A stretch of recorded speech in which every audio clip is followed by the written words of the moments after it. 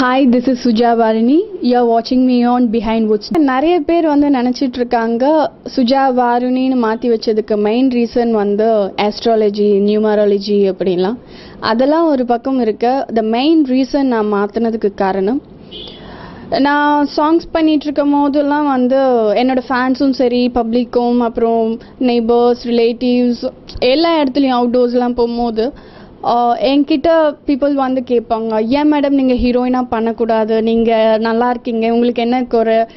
நீங்கள் ஆடும் போதே எங்கள் ஃபேஸ் எக்ஸ்ப்ரெஷன்ஸ்லாம் எங்களுக்கு ரொம்ப பிடிக்கும். அப்போ தான் நான் வந்து திங்க் பண்ண ஆரம்பித்தேன் ஏன் நம்ம ஹீரோயினாக பண்ணக்கூடாது? நம்மளால முடியுமே. ஆர்டிஸ்ட் அப்படின்னாலே அது எல்லாமே அடங்கியிருக்கு. ஸோ அப்போ தான் எனக்கே வந்து தோணுச்சு அவங்களாம் என்னை மோட்டிவேட் பண்ணதெல்லாம் வந்து எனக்கு தோண ஆரம்பிச்சது. என்ன பண்ணிகிட்ருக்க சுஜா? சாங்ஸ் ஆடியிருக்க ப்ரூஃப் பண்ணியாச்சு. ஸ்டாப் பண்ணு ஹார்ட் ஒர்க் பண்ண ஆரம்பி உன்னால் முடியும் அப்படின்ட்டு எனக்குள்ளே நானே வந்து என்னை என்கரேஜ் பண்ணிக்கிட்டேன். என்னை நானே நிறைய மோட்டிவேட் பண்ணியிருக்கேன். ஸோ அப்படி முதல் ஸ்டெப் எடுத்தது தான் சுஜா வாருணி அப்படின்றத நான் மக்களுக்கு வந்து விழிப்புணர்ச்சி கொடுக்கணும். அவங்க சொன்னதை நான் கேட்டிருக்கேன்றதை காட்டணும்.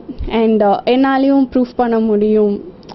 I can I can dance at the same time I can act அப்படின்றத நான் வந்து கொடுக்கணுன்றனால தான் நான் இந்த ஸ்டெப் எடுத்திருக்கேன். அதுக்கான முதல் முயற்சி தான் இந்த ஐ வாஸ் தேர்ட்டீன் இயர்ஸ் நான் எயிட் ஸ்டாண்டர்ட் படிச்சுட்டு இருந்தேன். ஸ்கூல் போயிட்டு இருந்தேன். ஸ்கூல் ஆனுவல் எக்ஸாம் நடந்துட்டுருக்கு அப்போது எனக்கே தெரியாது என்னை ஃபாலோ பண்ணிகிட்டு இருந்திருக்காங்க. ஒரு நாள் திடீர்னுட்டு நான் போயிட்டுருக்கும் போது என்னோட வீட்டு நெய்பர் அப்போ வந்து எனக்கு யாருன்னு தெரியாது. ஆக்சுவலாக நான் ரொம்ப புதுசு அந்த ஸ்ட்ரீட்கே நான் புதுசாக போயிருக்கேன். போய் ஒரு ஒன் மந்த் இருக்கும். பக்கத்தில் யார் இருக்காங்க என்ன ஏது சுத்தமாக எனக்கு எதுவுமே தெரியாது. அப்போ திடீர்னுட்டு வந்து என்னை ஒரு நாள் கூப்பிட்டு எங்கே போயிட்டுருக்க? அப்படின்னா டியூஷன் போயிட்டுருக்கேன் அங்கிள் அப்படின்னு. என்னவா ஆகணும் ஆசை அப்படின்னு கேட்டாங்க. நானும் வந்து நான் ஒரு ஃபிலிம் ஆக்ட்ரஸாக ஆகணும்னு ஆசைப்படுறேன் அப்படிலாம் சொன்னேன். ஸோ அப்போ சொன்னாங்க ஒரு படம் இருக்கு நடிக்கிறியா அப்படின்னாங்க. படமா? அப்படின்ட்டு அந்த அந்த ஒரு சின்ன ஒரு ஷாக்கோட அப்படியே வீட்டுக்கு குடு குடு குடுன்னு ஓடி போயிட்டேன். ஸோ பின்னாடியே வந்து அந்த வீட்டில் இருந்த ஆண்டி வந்து இந்த மாதிரி என்னோட ஹஸ்பண்ட் கூப்பிட்டு கேட்டாங்க பொண்ணு வந்து ஃபிலிம் ஸ்டார் ஆகணும்னு சொல்லியிருந்தாங்க. அவங்க சினிமாட்டோகிராஃபர் ராஜராஜன் அப்படின்னு சொன்னாங்க. அம்மாலாம் வந்து சுத்தமாக ஒத்துக்கவே இல்லை. எல்லார் வீட்லேயும் இருக்கிற மாதிரி சண்டை சச்சரவு நிறையாலாம் நிறையலாம் போயிட்டு இருந்தது. அதுக்கப்புறம் நான் அம்மாவை உட்கார வச்சேன்.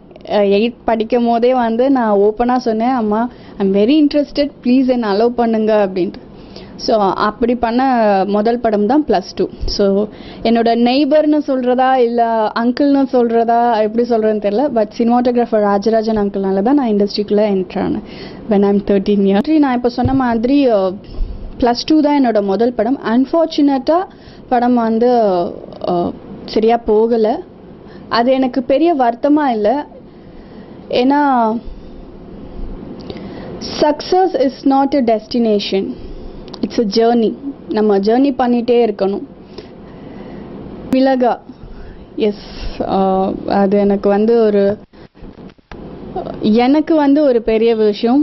பிகாஸ் நிறைய நிறைய விஷயங்கள் நடந்தது. நிறைய ட்ரை பண்ணிட்டு இருக்கும் போது என்னால் ஒரு ஸ்டெப்பும் எடுத்து வைக்க முடியாத நிலைமையில நிற்கும் போது டைரக்டர் ரவி மரியா சாரோட ஆடிஷனில் நான் போய் நிற்கும் போது சார் இமிடியேட்டாக என்னை வந்து செலக்ட் பண்ணி எனக்கு அந்த ரோல் கொடுத்தாங்க.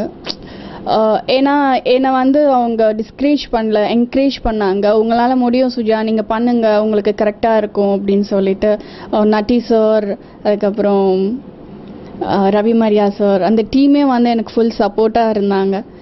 ஸோ ஆஃப்டர் மிளகாவுக்கு அப்புறமா நான் ரொம்ப பேஷண்ட்டாக இருந்தேன் ரொம்ப பொறுமையாக இருந்தேன். டைம் வேஸ்ட் பண்ணாமல் அதுக்கப்புறம் நிறைய படங்களை பார்க்க ஆரம்பித்தேன் எந்த மாதிரியான எக்ஸ்ப்ரெஷன்ஸ்லாம் எனக்கு வந்து சூட் ஆகும்? எந்த மாதிரி காஸ்டியூம் போட்டால் எனக்கு அட்ராக்டிவாக இருக்கும்? எந்த மாதிரி பேசினா உங்களுக்கெல்லாம் பிடிக்கும்? ஸோ அந்த மாதிரி நிறைய விஷயங்கள் நான் கற்றுக்கிட்டேன் ஸோ மிளகா வந்து என்னோட ஃபிலிம் கெரியரில் எனக்கு நிறையா நிறைய படித்த விஷயங்கள்னு சொல்லலாம்.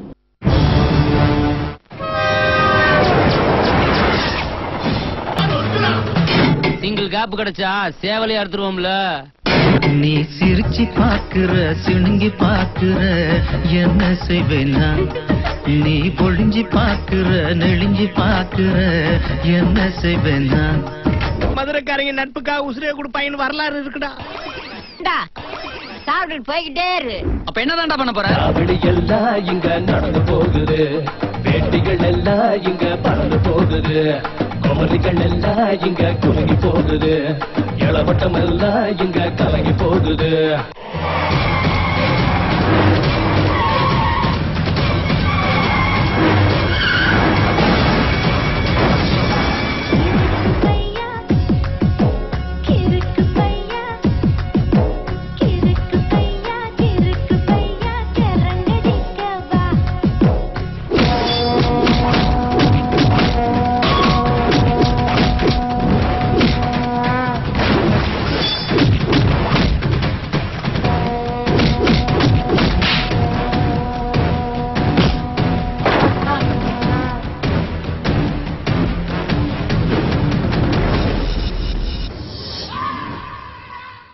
தமிழில் இப்போ நான் பண்ணிட்டு இருக்கிற படம் வந்து Gemini production K S Athiyaman sir Gurudev cinematographer Nakulan Shanthanu Swathi and me நாங்கள் பண்ணிகிட்ருக்கிற படம் uh, அம்லி தும்லி மியூசிக் வந்து சிவமணி சார் அவங்களோட முதல் படம் இது.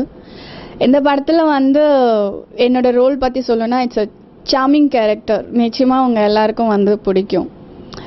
பெருசாக இந்த இந்த கேரக்டரில் எனக்கு அவார்ட் கிடைக்கும் நான் அப்படி பண்ணியிருக்கேன் இப்படி பண்ணியிருக்கேன் அப்படிலாம் நான் சொல்கிறத விட இதெல்லாம் உங்களுக்கு வந்து சின்னதாக வந்தாலும் உங்கள் மனசில் நிச்சயம் நிற்கிற மாதிரி இருக்கும்.